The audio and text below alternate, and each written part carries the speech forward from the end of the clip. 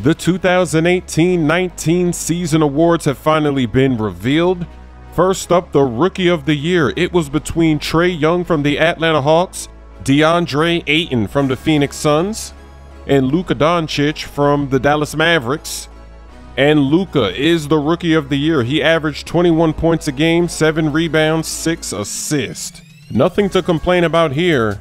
Trae Young made it interesting at the end of the season, but from start to finish, it's gotta be Luka. Next up is the most improved player of the year. The three finalists, De'Aaron Fox from the Sacramento Kings, D'Angelo Russell from the Brooklyn Nets, and Pascal Siakam from the Toronto Raptors. Of course, it's gotta be Siakam, the most improved player. And it's funny because last year, just last year, even I was talking trash about Siakam. A lot of people were sending me clips on Twitter saying, look what you were saying about Siakam a year ago. And he completely transformed this team. He had that big game one in the finals. Definitely deserving of the most improved player. The Six Man of the Year award. Now, this is some cheese because two players on the same team are finalists. How is that possible? You can only have one six man. You can't have two. You've got Lou Williams from the Clippers. He won this award last year. You got Harrell from the Clippers.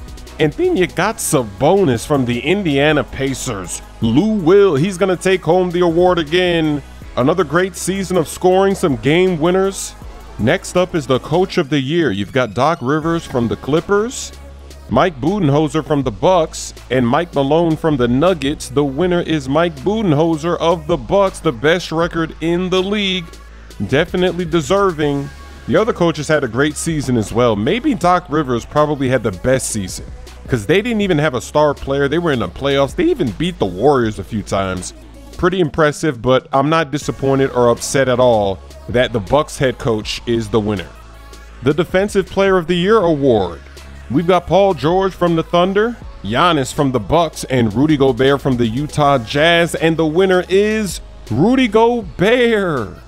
You can't get mad when Gobert wins a Defensive Player of the Year award because that's what he does. He specializes in that. The Jazz wouldn't be anywhere as good as they are without him.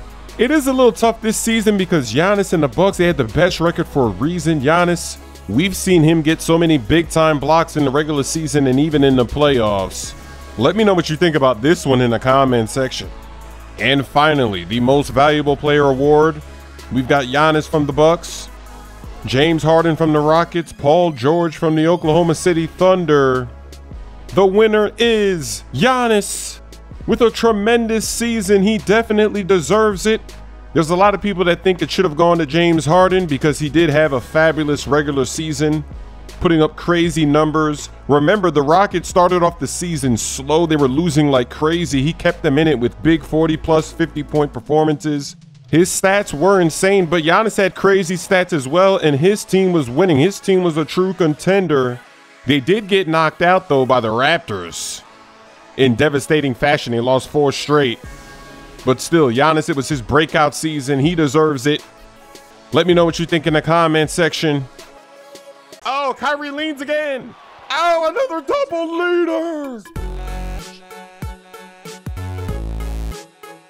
Uncle Drew getting schooled by his nephew.